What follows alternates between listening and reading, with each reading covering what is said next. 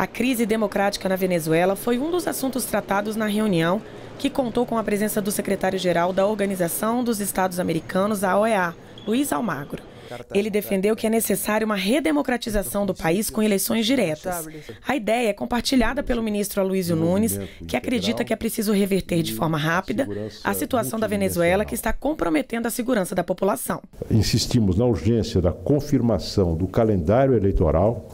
O povo precisa falar, a voz do povo é um elemento central na solução eh, do, da crise venezuelana respeito a prerrogativas da Assembleia e a libertação dos presos políticos.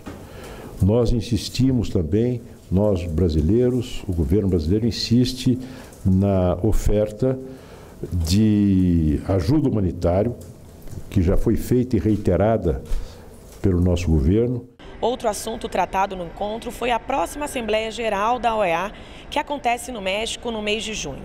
A ideia é fortalecer o diálogo entre os membros da organização para fazer um trabalho de forma coordenada.